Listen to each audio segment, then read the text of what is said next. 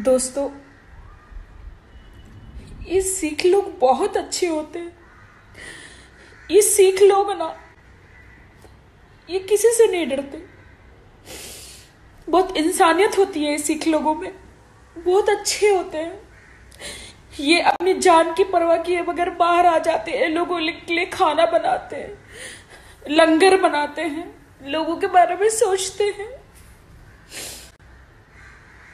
मैं इसलिए रो रही हूँ, इसलिए इमोशनल हो रही हूँ कि ये लोग मुझे बहुत अच्छे लगते हैं। ये लोग डरते नहीं है किसी से। और ये लोग, देखिए कैसे खाना बना रहे हैं और लोगों को खिला रहे हैं। अब्रॉड में, अमेरिका में, इटली में, जहाँ लोग भूखे हैं।